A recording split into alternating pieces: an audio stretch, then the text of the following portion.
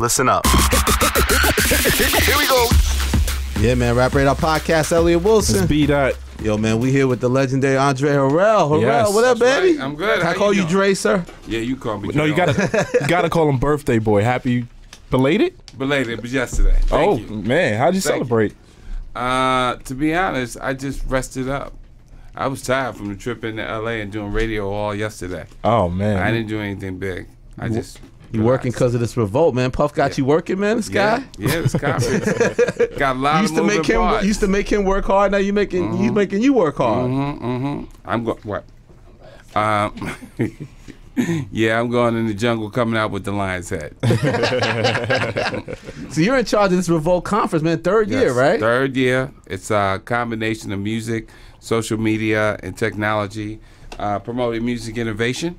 And we bring over 70 panelists up, down, and we bring about 15 different new and upcoming artists. And then we always give away the big award.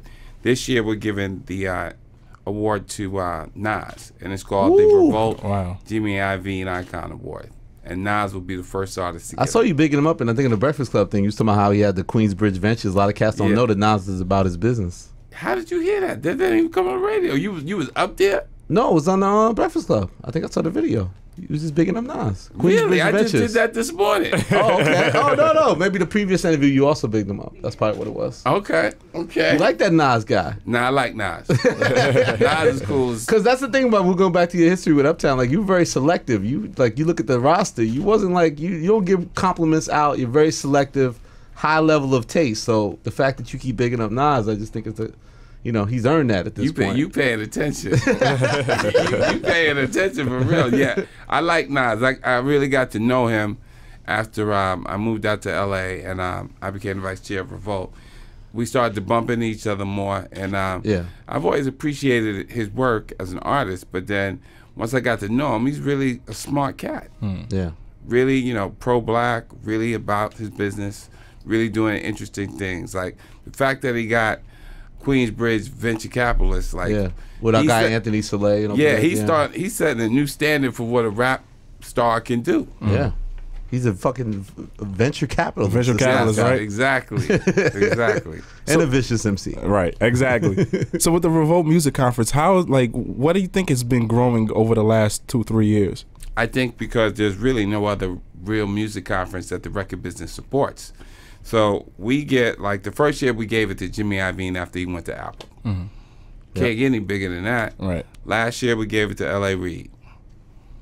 So we we tried to get um, the people in tech involved. We try to get the people in social media involved, and and when I say that, we try to get the founders involved. Yeah. So it's kind of like a tech conference meets Jack the Rapper. Right. Yeah. Yeah, because it's talk about those for people that don't know. You would hear about these legendary conferences that Mm-hmm. we knew about in the '90s, like "How Can I Be Down," Jack the Rapper. What do you think? What do you think differentiates Revolt from from those times What in the, this new era? What the is? difference is one radio was the driving uh, factor behind the other conferences. What happened was major labels would fly in big time program directors, and then all the other labels would go and support and have showcases for their artists.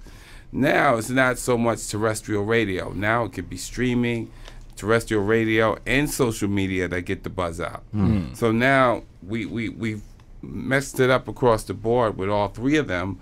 Plus we still do A and R. Plus we still do management. Plus we do keynote speaks. Like this year, Lyor Cohen from 300 doing a keynote speak. oh boy, Alright. do you have a Leo impression, Andre? Will you like people do Leo? I Impression? can't really do a Leo impression right now, but I can tell you this: 300 is hot. It's hot. What have you heard, Dre, about 300? You don't know. That's pretty good. Is it hard to get these power players down to You Miami? get everybody, man. To be honest, it's not that difficult. Like, wow. To be So is it all like? Do you do you don't even rely on Puff? This is all your juice to this get this all happen. me. This is all me getting on the phone. Yeah. and asking them to do it. And um, we've all came up in a time where we all gave back. Yeah. So from Lyor to Russell to myself, we all were involved in BRE. We all were involved in Impact. We all were involved in How Could I Be Down? Like when Peter Thomas first did How Can I Be Down, he called me up and said, I got an idea for a conference in Miami. I want to honor you this year. I need your support. And I did. Like, if, these things are good for the record industry Yeah. like artists get developed, artists get discovered, record executives get discovered and move forward. So how does it usually work for the new generation that goes to these events? Like, what's the type of energy you peep? Like, how is that different than the past? I think I think uh, the opportunity for the new generation is to hear what the panelists got to say, the people who are in the game, but to hear it from a different perspective in the sense that the game is changing every day. So you got to go to the tech panel and hear what iCloud is saying. You got to go hear what Spotify is saying. You got to go hear uh, what terrestrial radio is saying, and you got to go hear what what what uh, L.A. Reid is saying. Like and you got to take it all in and s- figure out where you fit in. Before, when we were kids, it was a simple path. We wanted to be A&R director, so we wanted to be promo Yeah. man. That's it. Now there's so many things to be inside the record business or outside. You might want to go work at Apple now, yeah, as opposed to working at Epic. yeah. It's it's Because we were talking about that. If you look at, we had Kevin Liles as the last guest. He went from intern to CEO. Mm-hmm. Your protege Puff went from intern to CEO. That seems like a whole other lifetime that you couldn't do that in this era. Like really go from an intern to a CEO of a company. And one of the reasons you could do that back then is because we were boutique companies. So you could have a personal relationship with the president. And he could give you more responsibilities that you could take from first to home plate. Yeah. Mm. Like now, well, even back then, if you went to a major label, everything is departmentalized. Yep. And you could only do The what your urban department. department. Right. Yeah. and at boutique labels, we did everything. Yeah. Artwork, video, A&R, marketing, whatever it is, we did everything. And everybody had a voice in it. And it was very important that people understood what the point of view of your label was. Hmm. What Not you- just the artist, but the label. when, but observing Puffy in that era, like when was the first time you kind of really started to realize, okay, this guy's there's something unique about this kid. Like he seemed like he's bringing a different type of energy to this. First place. time, first time I sent him on an errand, uh, I was on the phone. Let's I get rid of him- this, whatever this is. Distracting. Um, I, I sent him. I sent him on an errand to Unique Studios to pick up some tapes. We we were housed on 57th Street. yeah, yeah. Uh, and I was on the phone. He ran, got the tape. He ran back, and his tie was like this when he came back. what else can I do for you? I, I said to myself, "Oh, this boy's a problem." He said, "I ran there and I ran back." I was like, "Okay, that's a different kind of energy." and I kind of thought this kid is special. Like his desire, Yeah, his his go out and get it was special. Right. yeah. So if a person wanted to come to the music conference, do they get hired on the spot? Do you think people have lofty expectations going into the conference? Uh, I don't think they get hired on the spot. If they did, they don't take it right now. Uh, what you do, you make inroads to network to, for future opportunity or to get your record deal. One thing we're doing different is um, a lot of times when people came to the conference, they would uh, come up after a panelist spoke and say, and have a question. So the moderator would say, okay, what's your question? And they said, I don't really have a question, but I'd like to audition. And they sing or they start spitting bars. Yeah. So instead of having that, we we just decided to give a day for the people who are trying to get discovered, and we call that Be Heard. And so myself, Bryan Michael Cox, uh, Cool, and Dre, uh, we're going to be down there hosting the Be Heard, and people will come and audition for a minute and a half or so until we get down to 10 people in the final hour, and we're going to pick one person as the winner, and that person will perform on Revolt live. Oh wow, Damn. that's a So pretty good deal. that that particular thing you could get on. But don't be trying to freestyle at these panels, man. No, They're gonna catch ask your mic. questions. Ask questions at the panels. If you want to freestyle, come the first day, Thursday, to be heard. right. And the conference is October 13th to the 16th down in Miami at the Eden Roc Hotel. Why Miami every year? Who don't want to go to Miami? it's it's local. It's easy to get to. It's beach. It's Boniquas. What else? You remember the first That's like the? Bronx. With beach. With a beach. remember the first time you balled out in Miami? You- Um, Or you I discovered the power of Miami? I remember How Could I Be Down? 1995. Yeah. Uh, yeah, Miami was always special. And that's that guy. He's in reality shows now, right? Yeah. That's, yeah. T- Peter talk- Thomas. Peter Thomas. Yeah. Peter Thomas. People don't realize that. Mhm. Pedigree. wow. So- Crazy. What I want to know is what are your thoughts on the industry these days? Like, are you a fan of subscription based services and things of that nature? I think uh, Beats is kind of interesting, and I think Pandora is interesting. I like Pandora because I could just go Michael Jackson radio, Barry White radio, R. Kelly radio, and just let it go, and I can get that kind of music, and I don't have to keep bending forward and creating playlists. I like that. The old man in me likes that. now Beats, Beats got all kinds of playlists, all kinds of DJs. Apple Music, they got that best of Uptown Records. Yeah, they got that. so they got playlists. They got they got uh, DJs with particular points of view, like Q-Tip, like Drake. They got. I, I think what they got is worth it. yeah. I would spend my money on that, Right. and I do.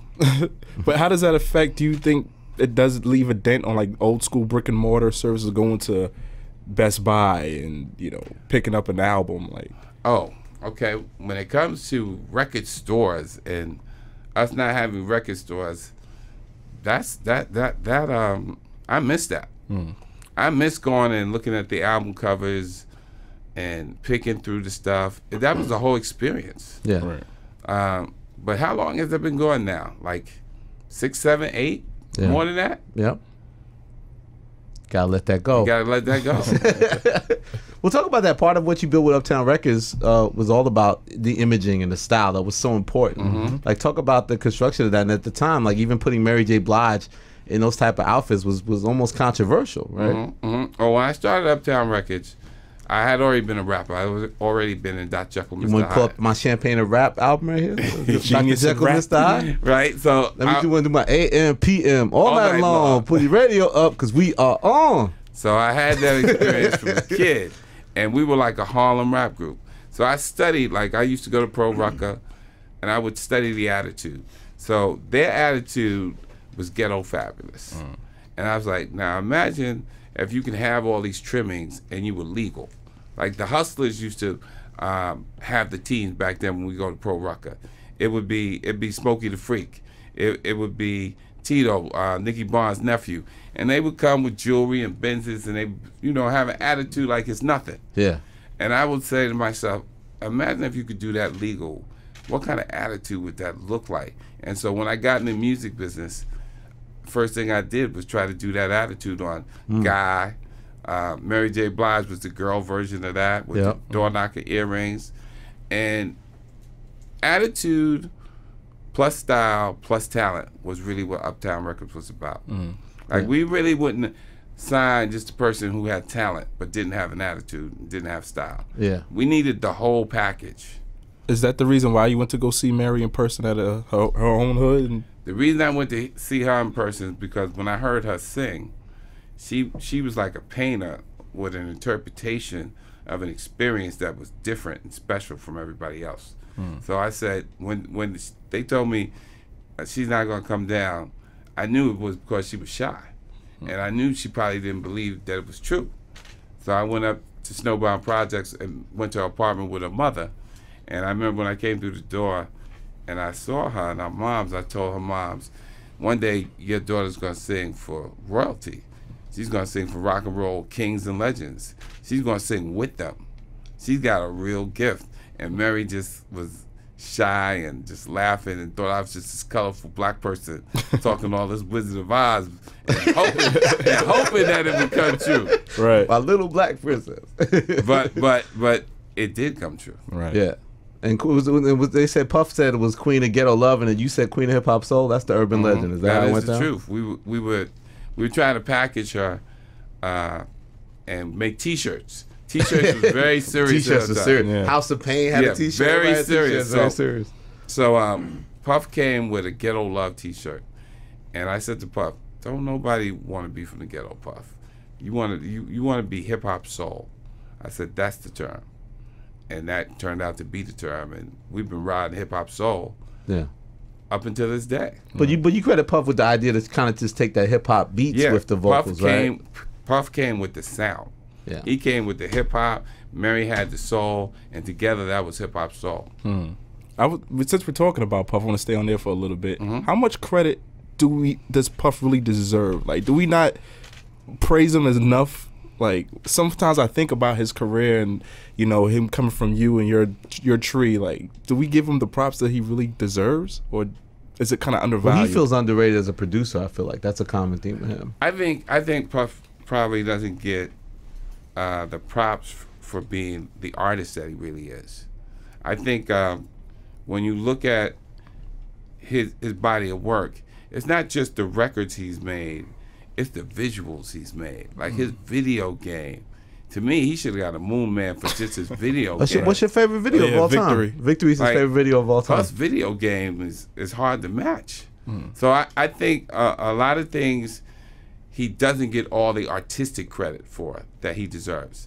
I think in, in terms of a marketeer, uh, in terms as a visual creative, uh, in terms of knowing what fits, Puff Puff has showed a particular excellence. Hmm. Yeah. But I do think he gets his props. The only thing I don't think he gets his props for is his visuals, his videos. Yeah. I think he made some of the best videos. And you give him props for really crafting that Mary J. Blige image with the first album. Talk about that. What's the 411 and putting that record together? Like, what was your observations of how that record came together? I remember when they would come back to play the record for me, I would say, "Yo, there's no change in the record, like a regular structured song. It would just be the beat." And they said, and they would, look- you know, him, Eddie F, uh, Dave Hall, they'd be like, "Yeah," and be rocking their head like, "Yeah," like, Keep and I, and, I, and I was like, "Okay, I guess so." but they came with the no changes, just the the knock in terms of the arrangement, in terms through. of the arra- arrangements, yes. And um, Mary had a particular uh, way of singing things, and she could rap too. Mm-hmm. yeah, she loved to get them bars like, off. Grand Puba. like Ma- Mary, Mary was the real thing, the inner city treasure. Mm. and I think it came at a time where the New Jack Swing was was dying, and hip hop was on the way up, and R and B. If you were a young producer, you didn't want to make a soft sound because the hard thing was knocking. Yeah. So when they decided to use the same loops that they u- used in rap records, mm. that's when we found something. Mm. And and um, I think the very first one was uh, was a Jodeci record. It was "Come and Talk to Me," the remix. the Yeah. remix. yeah. That That, was the EPMD, first- the EPMD That was type. the first hip hop soul record. Wow. Yeah. hmm But then my life is so revered too. I mean, Mary's second album. Like, Mm-hmm. can you talk about what was going on at that time? And it, it's sort of like it refined that sound almost, with the, but it had more arrangements. Mm-hmm. My even though it had my, my life, yeah, had real arrangements. My life uh, is the only album I have up in my house. Like that Wow. was a masterpiece because she was so honest in terms of what she was going through in her love life and how she was feeling. It almost made the company feel like if we handle this right, we'll be helping uh, young women across the world because it wasn't just love is not just a um, inner city thing where people don't get it. It's across the board. You could be rich and unloved. You could be poor and unloved. You could be black. You could be white. It's just the feeling of women feeling unloved and unappreciated. And my life captured that moment. And we, we tried to do our best to make sure that Mary grew with that in terms of not just musically, but as an adult. Yeah. Like there's a responsibility that's going to happen with this album. Mm. Like when women come up to you, Mary, they are coming up to you because they want some love from you, because you understand exactly what they're going through, and they haven't heard anybody else say it the way you're saying it. Mm. So you and women are about to have a love affair. How did she adjust to that? She she at first she was non-trusting, but then after a while, she she she she learned how to trust because she saw it was just overwhelming. It was coming out everywhere. Wow. yeah. And so now, when I see her, she she knows exactly who she is and what her responsibility is. Yeah. She's the queen of hip hop soul, and she knows that she's a beaming light of strength for women, and that she's revered by women, and so she knows how to love her audience in return. Yeah. During Uptown's run, did you guys see anybody as competition, whether it was LaFace or any other record labels? I saw the Faces competition because the Face was selling a lot of records. Their records was Andre crossing about that over. bottom line, baby. I remember when I put out the uh, My Life album, we sold three million, and uh, TLC put out the album that had Creep on it. It sold seven million. So was your music too black, Andre? That Uptown Records is too black. I thought I thought MCA wasn't giving us the right money to cross it over pop. Ah. That's what I thought. So I that thought- began some kind of tension, maybe. Yeah, I thought they should have just gave me my own pop department, but they'd never want to give a urban label based in urban culture pop department. That would change the game. Yeah, it was so divisive when you would go up to labels back then and be like, "This is the rock post, this is the urban department." Like it was all compartmentalized, and like those worlds didn't meet. You met the publicist, and then you was the urban publicist, and like You Everything was if you segregated. put out a record um, with the culture of the hood and put it out to mainstream America, like put it out on ABC networks, Mm. and everybody could see. All of a sudden, and and not just that one. Here's another one, and here's another one, and here comes Little Shawn, and here comes Jodeci. That level of effect on pop culture, they was like, no, we're gonna control that. because that level of effect on the bottom line, we're gonna control that too. Right. Because we know you could get to two, maybe you get to three, but if you want to get to eight, that's that's a whole nother level of money. You're gonna be telling me what to do. So were you and L.A. Reid like battling on the phone? Like, yo, I got TLC, I got joe Jodeci. Was it? Yeah, L.A. Reid, best of friends. Right. Best of friends the whole way. Oh, okay. Yeah. No, and in the situation, obviously, like people forget too with Puff, like they always get the rap that you you get tired of the rap that you fire Puff and all that type of stuff. Because at the end of the day, you helped build Bad Boy Entertainment while he was still there, right? I made Puff rich.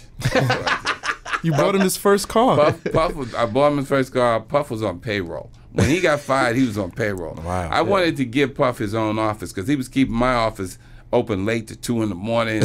Wow. I was like, okay, we- Champagne on your we, desk. We, we gotta we gotta give him his own space. So when I would try to negotiate with MCA to give him his own space, they said, "Nah, you gotta handle that." And so that bothered me. And then I, when he had the Biggie album, the president's secretary, Richard Palmese's secretary, she was listening to it and she was saying, "We can't put this out." oh, so I she can't told the remember this president, now. It's controversy. and, yeah. and the president called me and said, "We can't put this out, and uh, you got to tell them we got to change it." I was like, "I don't want to be in the middle of this. I don't want to be the one holding back the voice of a generation." So all of that led me to know that Puff was so big, it was time for him to do his Yeah. thing. What was the Biggie? There was a Biggie song that there was. what- was Party and bullshit. Was that no? What was the Oh, one the- that was the con- controversial that um, they was concerned about? I'm trying to remember. Um, to be honest, I don't. I can't even tell you. Not which me one. and my bitch, maybe or something like that. I can't remember which yeah, yeah. Mm. But they just thought it was kind of more violent towards yeah. women or the Yeah. Mm-hmm. type of thing. I remember hearing about that. So technically, Biggie got dropped in a sense in that point. We didn't right? drop him. Uh, we would have never dropped him. I'm sorry. Um, um, Biggie turned out to be my favorite rapper Yeah. of all time. No, but it was just it was time for um, yeah. Puff to get another opportunity that MCA wouldn't allow me to give him. So he had a bad day one day, and and it just didn't work out that day, and it was just time to make a change. But the change I made, I kept him on payroll. I kept his artists on payroll. He had Craig Mack still at the time. All Total. that, and, Biggie, yeah. Craig Mack, the girl, Total, and I looked over his contracts. I was like, go get the best deal. Mm. And I thought to myself that after me, what I taught you, I taught you a lot of culture and lifestyle. Clive Davis, song man, Yeah. teach you how to make a number one record worldwide. Mm. Go get that. You have that in your title. You look at your Twitter bio. You have one simple thing. You say "record man." Why that best represents you? Why? Why do you think that best represents you? Um, because it's it's a rarity that someone in the music business is a real record man, and I think when when we use that term, I know LA uses that term, I know Jimmy Iovine uses that term. When you're a record man, it's it kind of says you know the record business from soup to nuts. Hmm. You know a hit song, you know how to work a hit song, you know what it takes to make a star. So that's what I mean when I when I say that. Has that changed? Has, I'm sorry. Has that has that changed in this climate? Because that's the thing people want to know. How do you like? You, it seems like you can easily get on by just putting your record out, but then how do you make a hit? How do you become a star? How do you get noticed? The way you, you, you become a star is through the journey. Uh, and the journey is you practicing your craft. Like, you're not going to be great unless you get up there every day and swing the bat or shoot the ball. Those are the ones who end up being great. So, like, when you look at Jay Z, when you look at Kanye, you see once they got their moment, they ain't never let it go. They never turned down the heat. They never took it for granted. They turned the heat up. So the journey is really very important. Like you gotta like it. You gotta mm. like the good days along with the bad days till you get better days. Mm. And a lot of times now with social media, we're in the famous game, and people just want to get famous, whether it be for records or whether it be for being naked. and, and, and, and so and so when when when your goal is just to be famous, it's not so much the journey you appreciate. It's just the moment to get to that particular place. Hmm. But that particular place is fleeting. Fame is fleeting unless you're able to be a part of the journey and and and really fine tune your craft. Hmm. Hmm. So you got to be at it every day. You got to change your style up. And so forth. Like What are some keys in stars. terms of the actual music making? Do you think that a lot of artists make mistakes in terms of when they first start making songs? Like, what do you? What is there a certain thing you look for in music that catches you? Attention? you look for you look for originality and authenticity, and the sound of their music, and the rhythm of their music, and and their voice, and how they're saying what they're saying. Hmm. You look for somebody who's not a, a carbon copy of somebody else. They can remind you of someone, but not be that person. Right. Be their own person. What I want to know is when getting back to Puff real quick. He lived with you, Mhm. and when you let him go, he said that he was outside your crib and you didn't let him in. No, he didn't live with me. That He lived with you. he li- he lived with me in uh, New Jersey. oh, okay. When I bought my first million dollar crib, Puff moved in day one. he said, "We got a nice place here." Take that. yeah, yep, yep. But when you let him go, he said you didn't let him inside the house. He said he was banging on the doors and you were home, but I wasn't home. That's what, I wasn't home. It- like he said that that was the day that it was it was done. But um, the next Monday when he came in, I said, "Listen, you're gonna stay on payroll. I'm gonna pay you to do the Mary J. Blige album, and you're gonna get rich." And he understood that pretty quickly.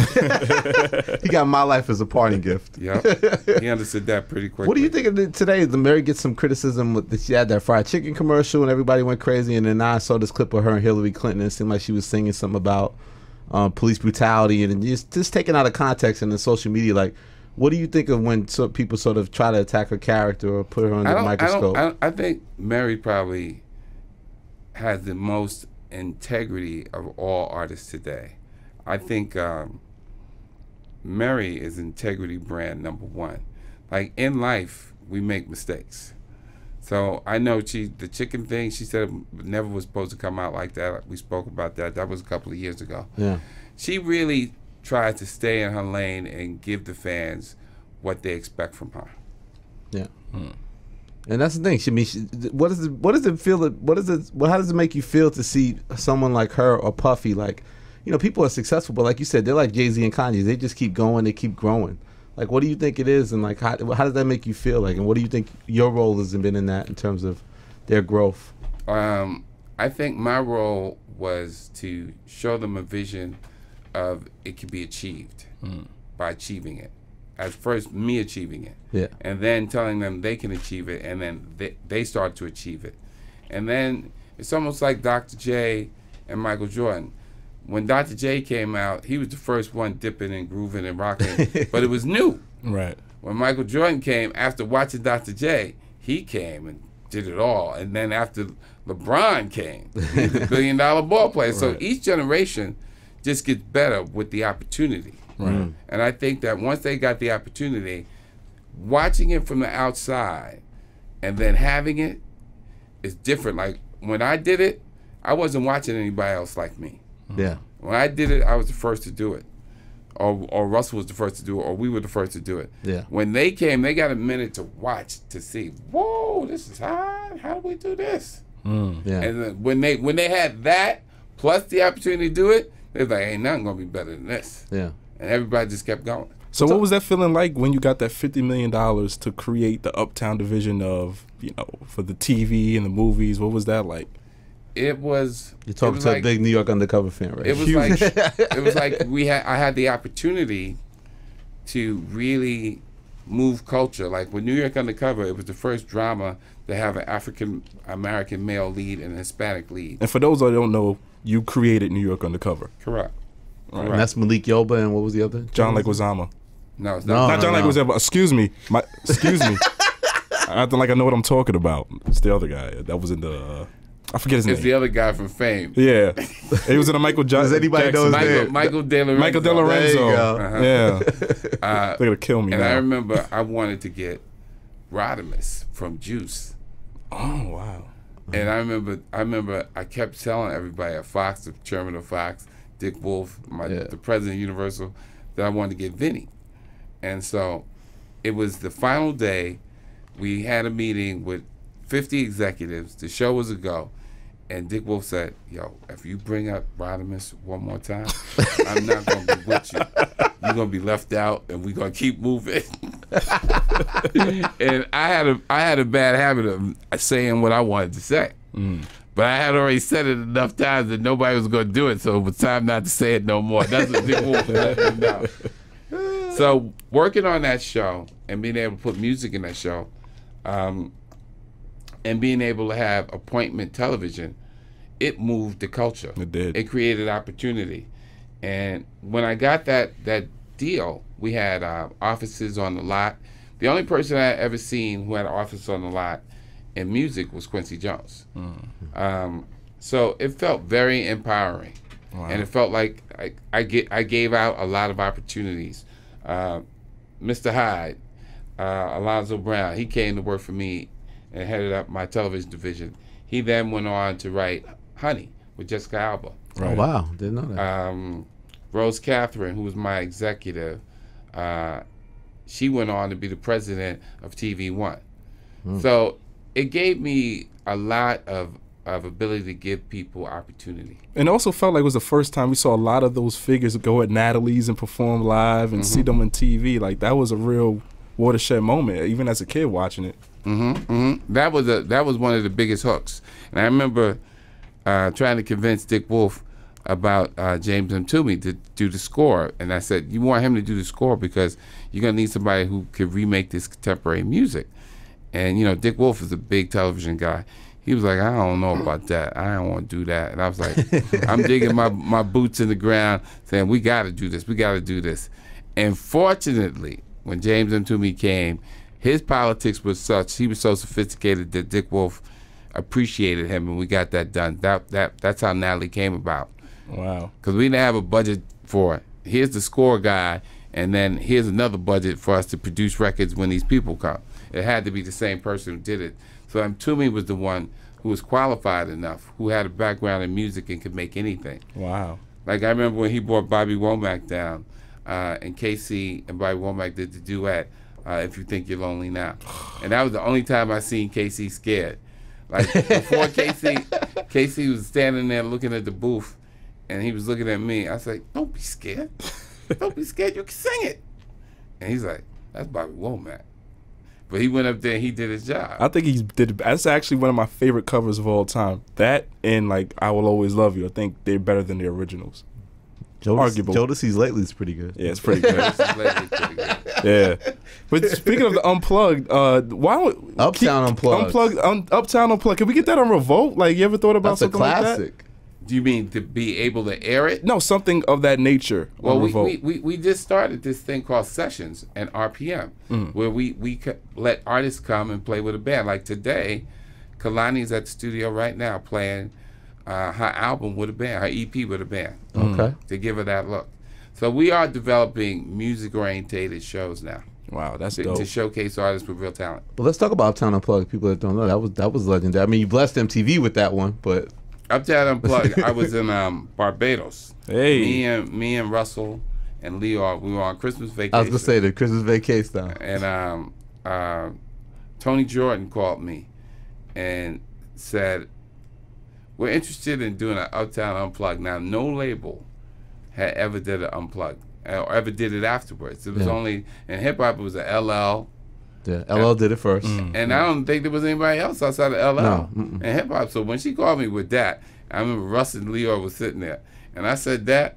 I know their faces must have hit the ground. Because me and Lyor, especially, was so competitive. wow. Um, but when I got to do that, that was hard, man. We got Jodeci's band to play for everybody. Mm-hmm. And so, Heavy worked Jodeci's band. Christopher Williams worked Jodeci's band. Mary worked Jodeci's band. So they was working them hard mm. to the point where the band was like, hold up now. We don't really work for you. We work for Jodeci. Yeah. So trying to keep that together for that week of rehearsal to actually do it, that was one of the hardest things I ever did. Yeah. Because I had to keep everybody's ego in check, keep the band happy, mm. keep the performance going. Yeah. By the time it happened and we had the party, I remember I was walking around the party in a daze. Like thank God it's over. Yeah, I'm, I'm looking at P- Patti LaBelle jumping up and down partying, Arsenio partying. I'm like, wow. Wow. And we had the K-Ci Mary relationship going at that time too, with the, mm-hmm. and the emotional performance. Well, I don't want to do anything else. Like, Yeah. how did you manage that? Like two of your artists dating in a very volatile situation. Like, how did that affect you? Well, to be honest, like when two artists start dating, that has nothing to do with you. That's how they end up doing it. All you can do is manage it to the best of your situation. Yeah. Uh, so, and sometimes it was working good because K-Ci uh, had more experience in singing. So Mary would open up and sing more around K-Ci, and made her a better singer. But you know, when it goes bad, it just goes bad. Yeah. Right. One of the oh, go ahead. No, I'm saying, is it, does it sad to see at times it go bad for a group like Jodeci? You know, some people don't end up having this long career. Like, you know how talented they were, and a lot of records, even when they first came to you, they had ideas of these great records already. Like, so can you speak about their journey and how it kind of went left in some sense? Okay. Um, Jodeci, they drove up eight or nine hours from uh, North Carolina and sat in my lobby for a couple of hours. And I remember me and Heavy were me and me and Heavy were in my office arguing about something. Heavy standing over me, giant size, dictating with his big voice, telling me something. And so we kept hearing, "Come and talk to me." And like, who is this? Who is this? Like, I don't know who is this. So we get up, we walk around the corner, and we see these four little guys in Kurt Juice Woodley's office, who was my A and R executive. And I said, "Is this y'all singing this?" Yes, sir. You know they Southern boys. yes, sir. Pentecostal church boys. And I was like, "Y'all got more records like this?" And they played "Forever My Lady." And I was like, "Okay, they not leaving. Y'all, y'all are getting a, a record deal today." Wow. So we put them in a hotel, got them a lawyer, Same day. same day, Wow. and and got them a. That's a it. record Trap you at the label. You ain't leaving. That was the You whole ain't thing. They leaving. signed you because you might go down the block to Def Jam and get a deal or something mhm, like that Wow. somewhere else. So um, I remember I moved them in to uh, the apartment that I grew up at in the Bronx. Wow. to give them a chance to really digest the urban feel. So uh, they lived there for about four or five months, and they were playing music and so forth. And they was like, "I don't know if this is safe for us anymore, Dre." I said, "Why you say that?" We had a party the other night. We had about a hundred people here. They was looking at the equipment and everything. I think uh, the jig is up, and they was right. The jig was up, and and, and, and it it it was fine because it was time to put out their single. So it was time to move them away Yeah. from that level of inner city. Wow. How But did they yeah. had soaked it up, Yeah. and you could see it in their attitude, and you could see it in their fashion. Wow. How did they deal with the fame of the first album? Because it seemed like it took a, there was some drama even before the second album happened, right? I think, or just it took a while. What What do you mean drama? Like I'm lost with that one. No, I just remember like I thought it was kind of a couple years break before the second album came. No. No. Okay. The the only drama was we put out "Gotta Love" first, mm. Oh yeah, they didn't like that one. and right. that's the one they liked. oh okay. Hint the the group and Puff came to me, lobbied me for weeks, months. this is the single. We need to be young. We need to be street. This is it. And I always tell my artists, listen, as much as I know, you're gonna know a little bit more about yourself, because I'm thinking about all of y'all.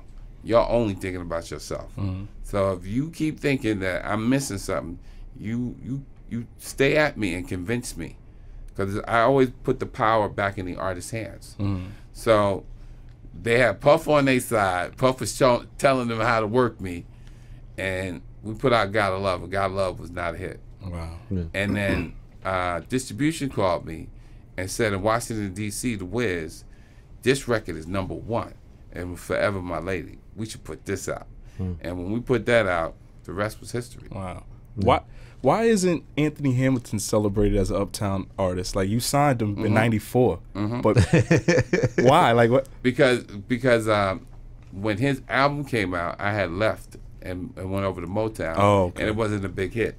But me and Anthony, we always celebrated when we see each other. We always tweet back and forth. He's an uptown artist. Can we talk about Motown? This is what I remember from me. I just started Mm-hmm. getting into the industry. I started like in the mid '90s, and then like the big deals. Andre Rell's going to Motown.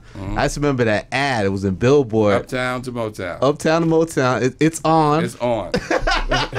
and it was like a back of a of a chair, and like it had a Motown hoodie or something like that. Mhm, And you just see the cigar. You see Andre's cigar. Like it was just Mm-hmm. pop, and it was like there was just rumors about how many buckets of money Andre was given Mm-hmm. and how crazy it was. So was it all that at the time?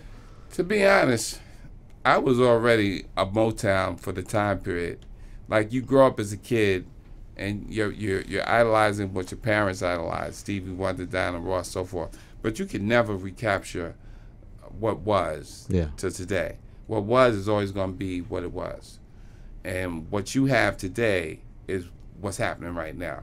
So, trying to chase Motown and turn it into Uptown to be relevant, uh, like Uptown was relevant, it was just not the right brand. Like Motown meant something else. Yeah. And at the time, I didn't know that. I just grew up thinking Motown was the the supreme black music label, and it was. Yeah. Like I said, it was. At that, that period, Uptown was the supreme black music label. So it was a lot of um, hard work, and it was like chasing a ghost that you could never bring to life. Once something has died, once a period has died, and a new period has ushered in, you can't bring an old period back. It seemed like after you left that, you kind of went low for a while, right? Like, what was going on at I that went, time? I went and became the head of Bad Boy Records. Okay. That's when Puff sold 12 million. Wow. No way out. So So how did that shift of, of him now you coming back and technically in some sense working for him? Like, what was that transition like? it it was it was fine because me and Puff always had a great working relationship. We always loved what we were doing and we always was trying to get it right. Get it exactly right. Like the image, the sound, the so forth. So he was an artist at that point. So when I came in to be president, I came in to be president. And like he was an artist. So I I did mostly what I would do. Then when he came back, we did again what we mostly would do together when we were working at Uptown. This is after Biggie's passing, like around that time. Mm-hmm. So what was that? What was that vibe over there? Like, how was how were you guys overcoming the pain of that and really sort of building the structure? And a lot of people were surprised that Puff, the artist, now was taking off. That he when could do it. when when um when um Big got killed, I was president of Motown, and Puff was staying at my house that weekend, uh, and I came to Bad Boy a little later after that, but the loss of Big was for the industry was huge. For him, it was huge. For Bad Boy, it was huge. But for music, it was huge. Like he might he was one of the greatest rappers of all time. He was so clever Right. and so and so uh, melodic in his approach. He turned out to be my favorite rapper of all time. you keep saying that, so you was, you wasn't as sold on him from the beginning, I guess. When it, when I first heard him, I thought he was good, but I didn't know. But I had Hev D. Hev D was like my favorite rapper. Uh, have you ever used to hear me talk and promote Hev D? Shit. Give us a pitch. Give us a pitch. We I- I talk can't to even everything. give it to you no, but I feel now. you know I think unfortunately I think because of how great Biggie was and, and then guys like Big Pun that came Mm-hmm. after, Heavy doesn't get the props he deserves. You know, R.P. Hev. Like talk a little bit Well, I about give what you- made I- I'll t- special. I'll, I'll tell you about Hev. I remember I got an invitation to Janet Jackson's birthday party. It was going to be at Prince's Club. And I showed Hev the invitation. He said, That's nice. And I said, You going? He said, Why am I going? I said, You going because as soon as you get there, you going to get in pocket with Janet Jackson. You're going to make a record. How you know that, Dre? I said, Because you the bun diddly D. And when you start dancing, You the goes- bun diddly D. Go heavy. There can't be anything anybody else she wants to hang out with, but the big, fuzzy, cuddly, dressed in a yellow suit, Hev D. What's gonna be better than that? and as soon as we came down the steps, it was in Prince's Club, so mm-hmm. you used to enter it and you had to walk down. So when you we walked down to the dance floor, her dancers saw Hev, and they went to get Janet, and I saw the whole thing. And I mm-hmm. hit Hev like, see. And so by the time we hit the dance floor, Janet Jackson was standing right there to greet Hev. Took him by the hand. I ain't see him no more for the rest of the night. yeah, He was he was up in Janet Jackson land. Wow. yeah. But but And then he made the record It's All Right With Me. yeah, with Janet. But even before that, like Russell didn't didn't see the talent, or you Sure. snatched him up. True. Like talk about What- the, what when- made him special as an artist. Like what, what did you realize made, he could be? What, made? Hev special is Hev was charming. So the first time I met Hev, I met him over the phone. He called looking for uh, Russell Simmons. And I said, he's not here. He said, well, can I talk to you? And I said, okay. He said, who are you? I said, I'm Andre Harrell. He said, Andre Harrell, Dr. Jekyll? I said, yeah. He said, can I call you back tomorrow? I said, okay. So the next he had to get himself together because he was like, "Uh, it's on now. So he called me back the next day, and he didn't admit, immediately go on the pitch. He asked me because I, I probably answered the phone like, "Hello." He said, "Yo, you you sound kind of rushed. Is this a good time? What's going on with you?" And he just started doing therapy. And had me talking about what was going on with me at that point in the office. And so whenever someone does that to you, and you realize you talk so much, you're ready to let them talk and listen. So when he started talking, I realized he was charming. So when he came down to see me at Rush, here was this big light skinned dude, him and Eddie F, with this great like them light skinned dudes, Andre. With- We're just gonna with- get to that. with, with this great haircut. Like Mount Vernon cats really pride themselves in having great haircuts. Mm. So Hev came, you know, he was Jamaican, he had curls, his joint was pointed up. He was dressed in Coca Cola shirt, brand new Nikes, looking like he was from DC. I never saw him as a, a fat boy. Like, I always ran the comparison that Hev D was like Jackie Gleason, but not like Ralph Kramden, the, the bus driver in the honeymoons. He was like how sweet it is, Jackie Gleason with the corsage. And um, my goal was to make you not pay attention to his size by having him do slim man things. Like his suits were tailor made, so he he never had a big man, tall man thing, because they would be three seasons behind, hmm. and that made him look retarded or fat. So I, I get whatever Giorgio Armani got, we're gonna make him five of those. And then he could dance, and we hired Rosie Perez to choreograph him. Wow. Wow. And once you take a 300 pound man and get him moving like he's light on his feet, you start saying, go heavy, go heavy, go. And he was just a star. Right. Well, He looked like a star. He And the things he said, excuse me, no problem. Well, you know. uh, the things he said were so loving toward women. He um, he had a charm the way he would talk about I want somebody to love me for me. Girls are girls, they love me. I'm the overweight lover, heavy D. Yeah. Sincer- sincerity, I guess. Yes, and and and vulnerability, uh, and and like a gentle giant. I remember standing um, in Houston outside of an arena, and we were there at three o'clock during the sound check, and Hev said, "Watch this, Dre. Watch this." So two girls coming, and um, the girls come up. They stop. They say, "Hi, you Heavy D?" He said, "Yeah," and they get ready to walk again, and they come back and say, "Can I hug you?" And had, and they they would hug Hev, and Hev said, "They always want to hug me. Don't nobody want to." so, so um, Hev was just even my first artist. He probably, as much as I taught him the record business, he probably taught me the record business because I had to manage him and and get him from zero to hero. Yeah. And then he uh, tried to run uptown for you about after to you left, right? Yes. Were you happy with how he took it over? I was So happy. for real, I, I was Lost happy, Boys? I was happy that he had the opportunity. Yeah. Mm. Actually, that's actually that's funny you mentioned Lost Boyz. That's my favorite rap album of all time. Personal Really? favorite rap album is Lost Boyz Legal Drug Money. I'm from Queens, And so it technically says uptown, Andre. yeah, so- because it, it, it to me it encapsulates my neighborhood.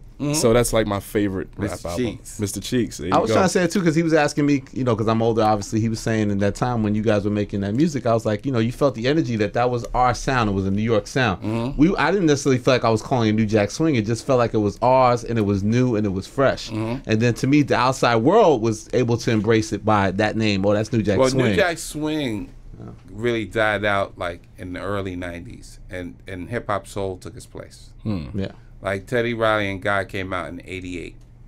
Keith Sweat and I Want It came out in '87. Dougie Fresh, the show, which was really the first New Jack Swing record that Teddy Riley made. Yeah. That must have came out around uh, the winter of '86. But why? Yeah. But why do you think that your records have aged so well? Even though it, it has like a dated sound, but they still pop off today. Like when I play a guy record, it feels like I'm going out, or you know, the longevity lasts. Well, the '90s are like the black people's '70s. like it's our era of chic partying, and those records, they evoke em- emotion, a party emotion, a good time emotion, uh, that brings you back as soon as you hear it. Like you hear "Groove Me," "Groove Me" just changed R&B forever. You see, you hear "Groove Me" sonically, and you see the Gucci girls coming out from the video. And then the other thing is that we had videos at that time. Like BET was still young. BET must have started in '85. So in 1988, um, I had control of my visuals. So there was nobody who was who wasn't young and black that could have input into my thing. So my thing would really hit you in the core. So it was it was the sound was new. Uh, it was it was of the time. The look was was hundred percent pure, uh, ghetto fabulous. Uh, so when you hear when you hear those records now, it reminds you of when R&B was great. It reminds you when you was in the club dancing. Now, because when people dance, you don't realize da- dancing is different than just partying. Dancing and throwing your hands up in the air is like celebration, like mm. rejoice.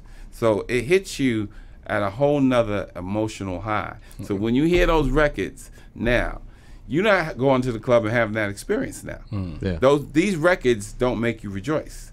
These records in, in this generation, they don't really dance. And they don't act like they're celebrating in the way we celebrate it. Like they might be buying bottles, mm. but that's a front.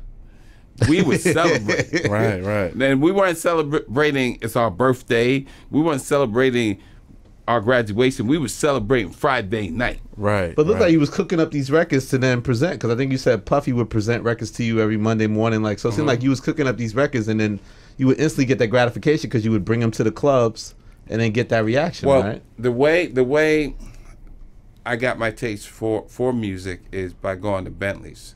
Bentley's was a club uh, on Yeah. 40th Street and Park Avenue that DJ Sugar Daddy used to DJ at, and all the bad chicks used to go there. And you supposedly had to be 25 to get in. And I was 21 sneaking in. Sometimes I get That's in. why you wore the suit, Andre? Sometimes I get in. Sometimes I wouldn't. Right. Uh, but the one thing I realized quickly is that when you go out to the club, it was the era of girls going out with four of their girlfriends, right? Be one cute one. The rest of them, the rest of them Some the, things never change. the rest of them be like, ah, you just dragged me out. I'm just going out. I really want to be here. So you ask the cute one to dance. She say no. You ask the friend sitting next to us to dance. She say no. Then you ask the other two. So it's like, no, no, no, no, no. Then you feel like you don't turn around because you feel like the whole club must have just seen this. you go upstairs into the dark part, into the abyss, and regroup. Get your ego back, and then you make an observation how the DJ plays because every DJ who plays a club plays a certain way, hmm. and a certain period his hot records come on. So when his hot records would come on, like ain't nobody, I would know to be come from upstairs, downstairs to observation deck number one where you can see all the chicks and be standing right there soon as Chuck comment, doom doom doom doom doom doom, and stick your hand out. It was like automatic, like the universe would just be moving our hand towards you. Hmm. And I always wanted to make boy meet girl, girl meet boy records Wow. that hmm. had that same effect, that had people getting on that dance floor. So for me, I always used to tell Puff, I said, you got to show them the dance you want them to do in the video. I said, because if you show them the dance when the record comes on, you'll see that dance and you know you got them. Good point. That's crazy. What I want to know too is, did this happen under your watch, Horace Brown, the Jay Z? Of course. That's what. So whose idea was to have Jay Z on that remix? Because every time I hear that Eddie F. song, okay, Eddie F.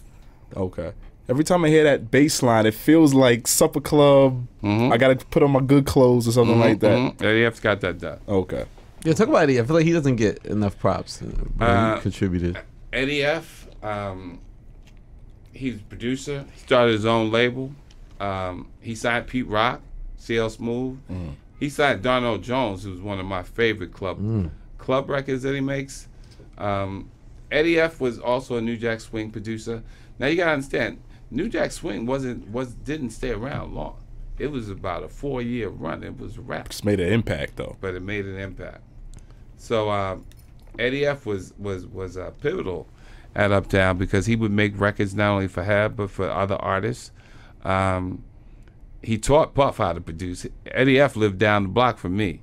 So when Puff had to leave my house, he goes stay at Eddie F's house. He stayed at my house for a year, stayed at Eddie F's house for a year. So he was getting all sorts of university information. so he became a producer out of that. Wow. Yeah. So Eddie F is definitely a pivotal Uptown member in terms of producer. Like you got to say Teddy Riley in terms of creating our sound. Teddy Riley, Of course. Eddie F, DeVante, and the Trackmasters. Not bad uh, lineup.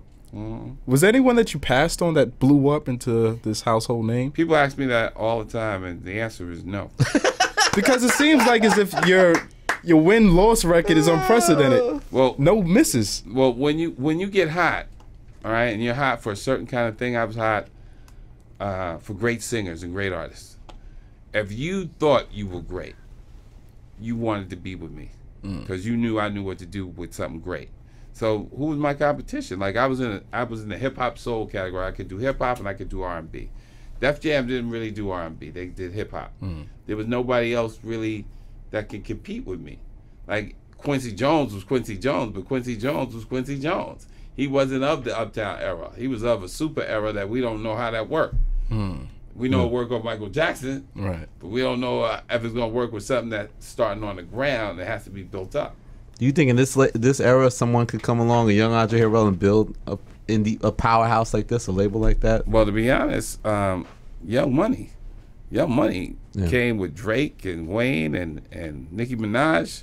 That's pretty good. Not bad at all. Cash Money's been around 20 years. Wow. Yeah. Cash Money's been around longer than Uptown. Like Birdman's a record man. we can't we can't say he's not. We can't say he's not. He got big stars and he's got a lot of years of it now. Wow. yeah. But did you get disenchanted with the music business? Because I know in 2011 you had uh, Harrell Records, but now you know it's really not that much activity going Well, on. well, the record business started to change in 2000. So the the record sales had dropped 50 percent. So the whole industry, as we knew it, was changing, um, and technology was taking a, a bigger role. And so, I've always been involved in television and film. So, the idea of of Revolt TV just made sense for me as a music mm-hmm. person to grow Yeah. into the television production mm-hmm. side. So I always feel like I'm involved in music, but I'm just at a different spectrum now. Gotcha. And what are some of the goals besides the conference do you see for Revolt? You know, obviously now you guys kind of have your foundation now, like are really growing more and more. Like, what should people look out for Revolt in the future? You think? Additional programming, good music programming coming next year. Hmm. Shows, More original hmm. programming. Hmm original program. Dope, dope. The B Dot show. right? Here is my real. What I always want to know too, on the were you actively on the set of Strictly Business with? okay. Hundred percent. What was the vibe like? Strictly Business was originally made. I'm originally called Go Beverly. And Go you know who Go Beverly. Beverly was? Is Beverly Bond Ah, from yeah. Black Girl Rocks. Now, how did she? How would she go Beverly? I had a crush on her friend, and she was my trainer. Beverly Bond was my trainer, and the I and and the um, plan was, all right, I'm gonna get you off Super Slim, and you're gonna go get the girl. And we became friends, and I would take her out with me at night, and when she started dancing, whether it be street dudes, whether it be bankers, whether it be white boys, they all loved her. And I started to notice that two things bring social classes and different ethnic groups together women and drugs. You smoke a joint, you could be smoking a joint with Yeah. the with the Duke of Windsor. Uh, hey, what what's that you got over there, Doc? yeah, I can sit down and join you. All of a sudden, don't matter what your differences Right. are. And if there's a chick there, do you know her? Yes, she's a friend of mine. All of a sudden, this dude is your friend. And so the movie was about a girl who brought all these people together. She brought um, Tommy Lee, who was um, in the mailroom Mailroom, right? with with um, what was his name? God dog, the banker. His, the Uh, real name I think is Joseph. The guy who played Wayman? Wayman Tisdale. Wayman Tisdale, Wa- yeah. Wayman. Look at you, Vita. I love the movie. Uh, so brought those two together, and they were going to be an unlikely pair. He was like an Ivy League guy, Right. and he was like a high school dropout. So because he knew um, Halle Berry in the movie, there was a reason for them to become friends. right. And and I was experiencing that in my world. Mm. Like I had all these Ivy League bankers, I had all these people I knew from Harlem, and I would put people together. And the music for me was by Go Beverly. Mm. That brought people together. And I wanted to show a movie that showed all the social classes blending together. Great movie, man. Well, how was Halle on the set? Like, was she was cool? That was like her first starring role too. She was unassuming. She was cool. Wow. She was easygoing. She's still easygoing. You don't make a lot of stars here, Andre, man. Well, we, we, we, came, we, we came up at the right time. Knock on wood. Right. All right, but we're gonna be grooming the new stars, man. Once again, Revolt Conference. Let them know the dates. RMC Revolt Music Conference down in Miami at the Eden Roc. uh, October 13th to 16th, where music meets social media meets uh, technology for innovation for the future. There's over 70 panelists. Um, Nas this year will be getting the um, the Jimmy Iovine Revolt Icon Award. Lyor Cohen will be doing a keynote. Julie Greenwald will be doing a Q&A with myself. DJ Khaled will be down there Khaled, talking Khaled. about Cloth social talk, media. cloth talk down Yeah, there? Yeah. He'll be explaining how he did it, how you can do it. Uh, we'll have A&R panels, management panels. Beyonce's dad, he's on the panel. Matthew Knowles. Matthew Knowles. Um, we have a social media panel. We have music and marketing panels. Um, if you want to be in the music business and you want to understand where we are today, the Revolt Music Conference is the place to be. Where can what- someone con- like register or whatever? Like, You go to our website, uh, revoltmusicconference.com. So you're not gonna sleep for three days, and where are you gonna vacation right after this is over? Uh, I, I don't vacation right after it's over um, because I live in LA right now. Ah, So there you go. You like it, L.A. I don't love LA like that. I love New York, Yeah. but it seems like that's where it's at right, right? now. Right, a lot of cats left us, man. But it, it's nothing like New York. I mean, nothing like New York. New York, you could feel yourself Mm. like you. You could feel this interview like you could walk on the street and, and somebody will tell you, "I heard you Yeah. on the show," and blah blah blah Right. blah. Yeah. And L.A., you and you in your car, Yeah, so you you're not gonna get approached that much. yeah. Right. So you feel kind of um, isolated a little bit. Gotcha. If you're used to being in New York and walking down the street, and like for me, like a bus driver will see me who went to high school with me, Trey, Trey, and we Yeah. cross 57th Street. I'm used to that kind of. No, and to your credit, I think like, as I think back on it, I think Uptown Records was the first label that made me feel like this is New York. hmm You know, Mhm. just by the energy of the music and everything, just being it's a di- was a different experience being from New York and feeling these records and knowing these records. With the fox. What? Why the fox logo? The Fox logo. Was the? What you was mean that? the cat? The cat. Yeah. Oh, there was a cat. yeah. I always thought it was a fox. You've been on point all day. I mean, super on Wayman up. Tisdale. I fucked up. But at this point, though, Andre, what's keeping you inspired? What's keeping you going? After you could sit back and ride off into the sunset. Culture. Um, I'm always. I'm, I've always been interested in what people are doing, what people are saying, and how they do it. Mm. And I think that that's the, and any record man will have to be interested in culture to be successful, to stay successful. Mm. Like once you, once you you you don't take the time to listen to something new, or listen to a young person's point of view, um, you're done. Mm. You will not be moving forward into tomorrow. I just stayed interested, Mm. and I'm a good listener. Thank you, man. I hope they listen to that. No, they're gonna listen to this Rap Radar podcast, man. They're gonna enjoy it, man. We gotta thank you, Andre. Thank you, sir. Absolutely. One more time, Andre Harrell, Uptown's kicking it. Thank Rap you, Radar- man. We, we out of here, man. Rap Radar podcast. Yep.